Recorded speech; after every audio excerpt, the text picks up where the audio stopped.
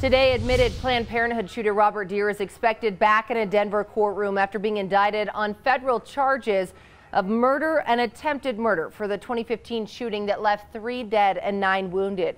The federal case is a whole new process, new players, all separate from the state case where Dear has been deemed mentally incompetent to stand trial. And among the issues to be discussed today is whether the judge will order a new round of psychiatric testing, which is also critical to this federal case moving to trial.